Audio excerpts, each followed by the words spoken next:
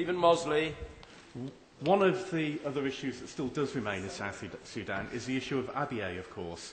Uh, could my right honourable friend give an update on what action has been taken to ensure that the promised referendum in Abyei does go ahead successfully?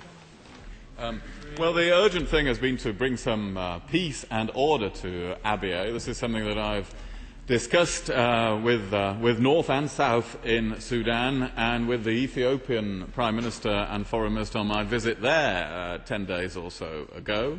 Uh, there are up to 4,200 Ethiopian troops uh, that will go to Abyei, and, and, we have been active in passing quickly the, the necessary United Nations uh, authority uh, for them to do so. Uh, of course, that is then designed to pave the way uh, for political progress in Abyei, but the, the most urgent thing has been to get that Ethiopian force there and to prevent continuing violence. Mrs. Louise Ellman.